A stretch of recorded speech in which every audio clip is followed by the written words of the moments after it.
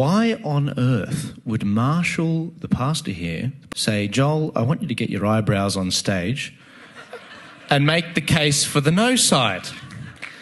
And I think that there's no better way, no, no better way that's encapsulated than this line from the great Prime Minister Tony Abbott.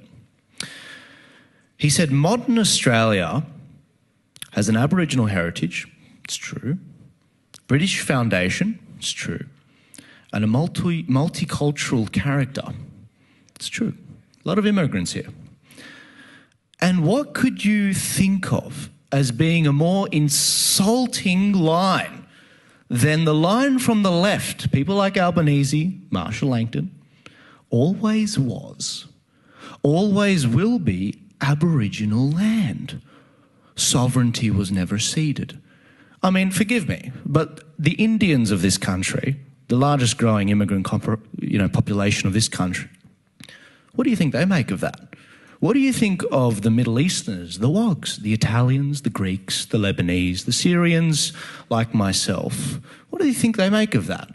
Excuse me, my father came here when he was four and he has helped build more churches in this country than the white liberals, you know, the uh, Malcolm Turnbulls of the Liberal Party.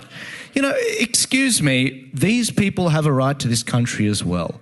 We're not going to allow Aboriginal people that have suckled off the teat of the state, off your hard earned taxes, so that they can secure $33 billion every year. How long has this been going for? What do you have to show for it? Nothing.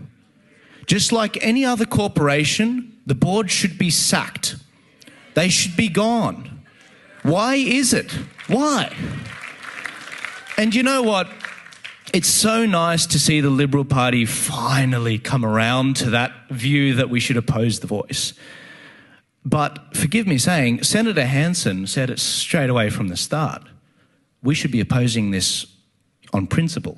This is wrong. This is enshrining race into the Constitution.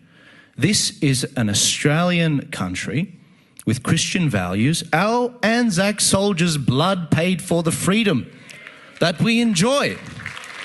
Since when did we think we were the people that were going to allow people like the basketballer Shaq to come over here from America and explain to us about what Australian freedom means.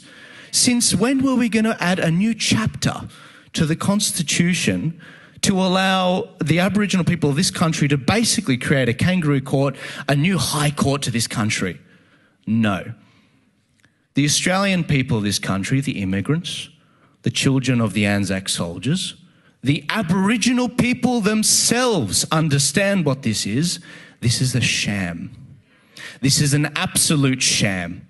And you know what? What makes me really dirty about this, being someone that operates online, is the idea that the American corporations are aiding and abetting Anthony Albanese in pushing this voice by censoring the no vote. No, this is not okay. And with your permission, uh, I would like to ask uh, my friend Elijah Schaffer up for 60 seconds. Please come up. Who is Elijah Schaffer? Well, the left in America, they brought Shaq here. Albo thought it was a good idea to bring, to, to bring Shaq here. Elijah, you're, you've got a large American following. You found a lovely Queensland girl, and you've had a lovely young, uh, young, young boy in this state of Queensland. What's your position on these fact checkers? What, what do you think their role is on the referendum? I will say this. I would like your applause with me here. The American fact checking censorship regime has no place in Australia telling us what we can say or cannot say. Can I hear your voice uplifting this to hell as Christians, to hell with the fact checking regime? Thank you so much. We love you in America. Appreciate it, brother. Thank you, brother. I think Albo's idea of uh, bringing the celebrities out to this country was a big mistake. On the 14th of October, when the Australian people vote for, in this country against the voice, I truly believe it'll be our Brexit moment, as in the UK. It'll be our Trump 2016 moment, as we saw. And we're going to see a situation in this country where we, where we truly quantify how big the freedom, the Christian, the conservative vote in this country. And it is a resounding no to the voice. Ladies and gentlemen, thank you very much for your time and thank you for, for allowing me up here. God bless you. Thanks, brother. Thanks for that. Appreciate, I appreciate it. So good. Turning Point Australia. Let's